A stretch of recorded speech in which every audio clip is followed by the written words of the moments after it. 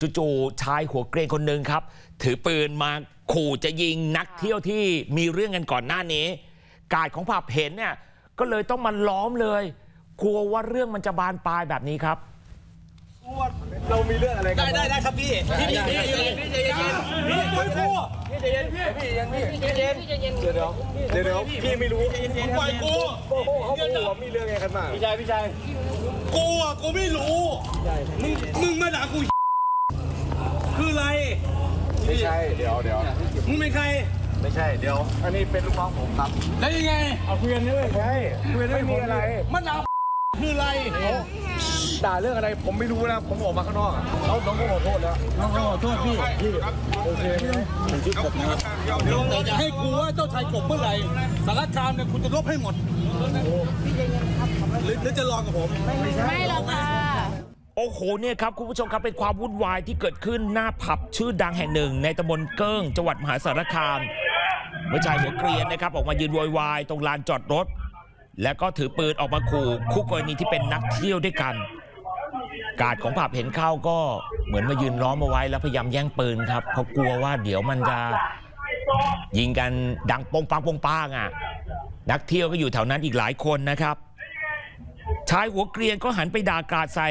กลุ่มกาดของผับนะครับ แล้วก็พูดจาข่มขู่ต่างๆ นานาเลยอะก่อนจะถามคู่กรณีที่เป็นนักเที่ยวครับ บอกว่ามาด่ากูทำไม หลังชุลมุนกันพักใหญ่ครับ ฝั่งคู่กรณีก็พยายามจะขอโทษนะครับ ชายหัวเกรียนมันก็ตะโกนลั่นขึ้นมาบอกว่า กูชื่อกบ แต่อย่าให้กลายเป็นเจ้าชายกบเมื่อไหร่ พร้อมจะรบกับคนมหาสารคามทันที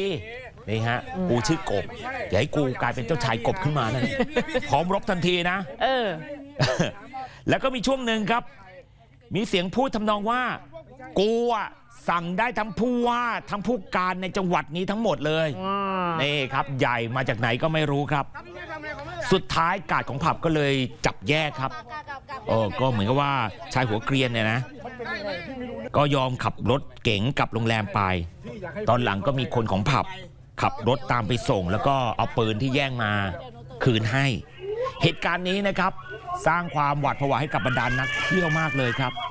โอ้โหมันน่ากลัวเหลือเกินอะนี่คือเป็นเหมือนที่จอดรถหน้าผับอะเอาง่ายๆล่าสุดคุณผู้ชมครับนี่หลังจากที่ชายหัวเกรียนนะครับ ขับรถออกไปแล้วนะครับตำรวจมหาสารคามครับ ส่งชุดสืบสวนไปเชิญตัวชายหัวเกรียนคนนี้นะครับ อะรู้ชื่อเสียงเรียงนามละชื่อว่าธนกิจอายุ 46 เป็นทหารเก่าครับอะก็เรียกมาสอบสวนนะครับ พร้อมด้วยปืนที่เอาไปขู่ในวันเกิดเหตุ ธนกิจอ้างบอกว่า ตัวผมเองถูกคู่กรณี จ้องจะทำร้ายก่อนอะแล้วก็เล่าที่มาที่ไปบอกว่า ผมเนี่ยไปชนแก้วกับผู้หญิงที่อยู่ในผับ แต่จู่ๆมีนักเที่ยวผู้ชายคนหนึ่งเดินมาผลักอกผม แล้วก็บอกว่า รู้ไหมนี่เด็กใคร ธนกิจก็บอกว่าเฮ้ยผมไม่รู้จริง ๆ พี่ไม่รู้ไม่รู้ ก็ขอโทษเขาไปแล้วนะ แต่ปรากฏว่าฝั่งนั้นก็ให้ผมเนี่ยออกมาเคลียร์กันนอกผับจู่ๆกลุ่มกาดเนี่ยประมาณ 7 คนก็มาล้อมผมไว้ทั้งๆที่ เอาแล้วคู่กรณีผมไม่เห็นยืนล้อมเขาอะนอกจากนี้เขาบอกว่ากาดผับเนี่ยยังมารุมต่อยเขาด้วย เขาก็เลยเหมือนหยิบปืนในรถมาถือป้องกันตัวไว้ แล้วก็บอกว่าปกติเนี่ยตัวเขาเองมาเที่ยวที่นี่บ่อยนะ เด็กที่เป็นแบบพวกเด็กเสิร์ฟอะไรต่างๆ หรือว่าพวกบรรดาคนที่อยู่ในผับเนี่ยจะชอบเขาเพราะว่าเขาติปเยอะค่ะติปเยอะนะเอาไปฟังเสียงเขานิดนึงครับ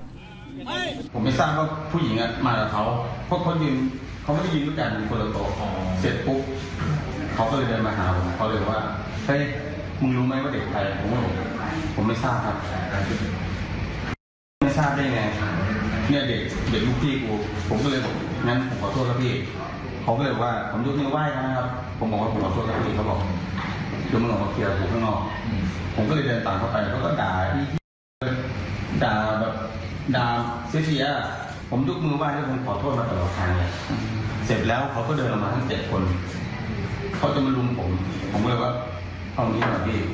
เจ็ดคนผมไม่สู้พี่หรอกผมขอตัวตัวใครก็ได้ เขาก็ขู่เข้ามาผมเลยแบบทั้งกาดทั้งอะไรคือคือจะมาบล็อกผมคนเดียวแต่ไม่บล็อกฝั่งนู้นไงแล้วนี่ผมก็กลัวเลยครับเพราะว่ามันมีเขาสะพายกระเป๋าผมก็ไม่ทราบว่าเขามีอาวุธถูกไหมครับ ผมก็ต้องป้องกันตัวพวกมันมาคนเดียว ผมก็เข้าไปนั่งในรถ ผมยกมือผมบอกนั้นผมจะกลับมาที่ยกมือไหว้แล้วก็นั่งในรถเขาก็มาต่อยผมสองที ส่วนเจ้าของผับครับนี่เฮียวรวุฒิสัมพโลครับ ก็บอกว่าหลังรู้เรื่องว่ามีคนทะเลาะกันในผับเนยนะครับ แล้วก็ออกมาทะเลาะกันต่อที่นอกผับ